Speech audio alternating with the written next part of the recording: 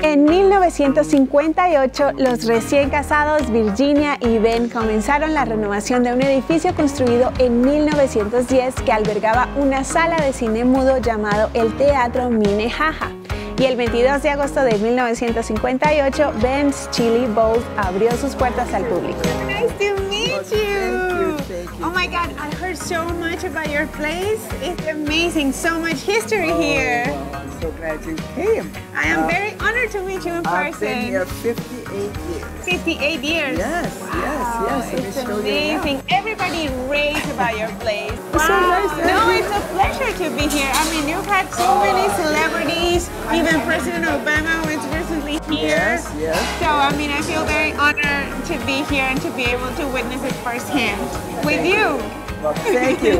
we love having you, of course. And you Thank you. you're as special as everybody else. Oh, is, isn't it? thank you. Absolutely. We found this building. It was a food hall when we obtained it, but it initially was a silent movie theater. And we were able to renovate the building and make it into a Ben's Chili Bowl. We made it very modern, very, very modern for that time. It was the window there. If you look at that, you could see all the way through the place.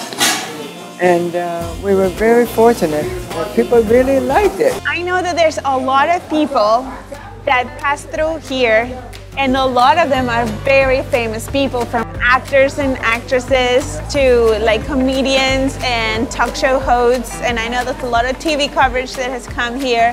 And the president of the United States, our first black president. Yes, uh, President Obama came. It was very interesting because he came just after the election and just prior to the inauguration, that first time. Okay. And I mean, when, when he was inaugurated, people came from all over the country to witness that inauguration. And it was amazing to me to realize that people stood in line in that cold January weather on inauguration day just to come in and buy a hot dog because he ate here. We view everybody as special. I think that's one thing people love because once you come in here, then you feel as special as anybody else. So we view everybody as very, very special. That's amazing. I think it's time for us to order something so yummy. And I think I want to go for your favorite. You want to go for my favorite? You yeah, don't I want to try the number one favorite. food, Yeah. the most What do you popular. recommend that we order?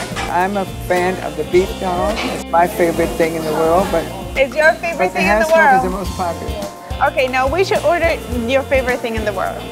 See? Yeah, I think so. Everything's good. I think we've been here 58 years. and everything's good. I know, there's a secret to it. Thank you. So you gotta have Right. a bite there. We're gonna share this, right? All right, if you like. Yeah, please. All right, just cut that in half. I mean, because food is just Laura, to be give me a small, a small plate and a knife and fork, because I like mine with a knife and fork. That's why she ordered what I like, because she What? likes Yeah, of course. What's the best way to eat it? Should we eat it with our hands? Well, I, I, have, I have a friend who, who did an article on how to properly eat a chili dog. and what is it? Oh, I gotta give you a copy of it. It's so cute. It's so cute. But I'm just gonna dig in on this. Yeah, me too. Cheers, Virginia. Cheers Thank you for you. having me here. Oh, we're making a mess. I can see one why I this is your one favorite. Every day. Every day you have one. I had one. I don't do it every day now because I got to keep the cholesterol. I don't want to take the medicine.